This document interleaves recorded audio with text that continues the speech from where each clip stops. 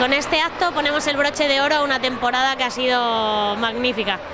El mantenernos en primera ha sido es algo espectacular que desde el principio soñábamos y, que al final hemos cumplido. Es una temporada muy buena, en la cantera pues incluso hemos ganado algún título como campeones de Liga Levin que no es algo eh, que nos obsesiona demasiado los títulos, pero bueno, fruto del trabajo hemos conseguido títulos, hemos conseguido crecer en número de jugadoras, nuestro primer equipo que es el referente pues mantiene la categoría en primera división el primer año y bueno, y terminamos con un torneo de esta magnitud con 500 niñas, pues muy felices, muy cansados y muy felices.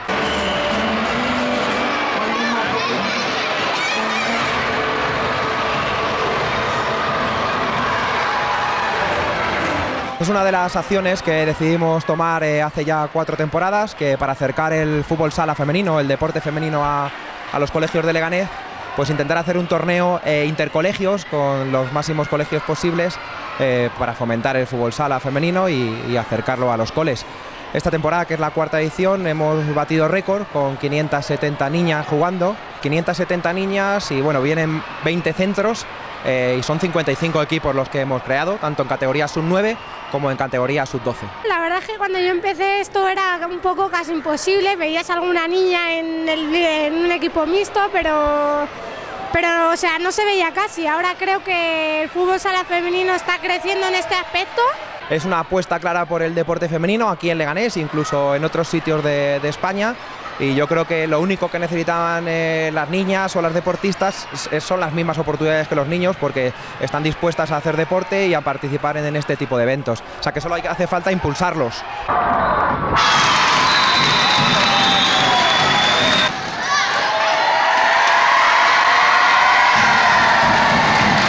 Ha sido una temporada muy dura, hemos trabajado mucho para intentar conseguir el objetivo, que era permanecer en primera división. Lo conseguimos en la última jornada y la verdad que lo conseguimos por todo lo alto porque conseguimos los tres puntos en la fortuna y, fue un partido para, para recordar, para recordar. Solo había que ver a las jugadoras, ¿no? Celebraban como un título el haber conseguido la permanencia, había entrenadores eh, llorando, eh, la grada llena, pues al final muy bonito. A veces el deporte es un poco injusto porque la línea del éxito y del fracaso está muy cerca una de la otra, pero bueno, eh, con el trabajo que habíamos realizado, incluso no habiendo conseguido el objetivo, hubiéramos estado felices, pero si encima nos salvamos, pues fue pues, un poco una alegría inmensa, vamos. Creo que ha sido un año muy difícil, complicado, pero hemos, creo que lo hemos sabido sacar, hemos trabajado mucho y aquí estamos donde nos merecemos. Seguimos en primera.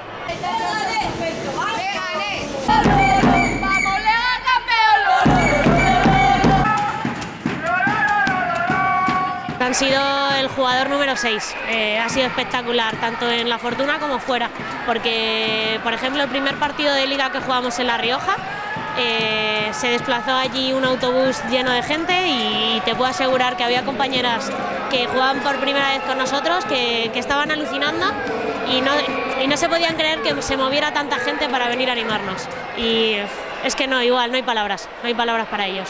Muchas gracias.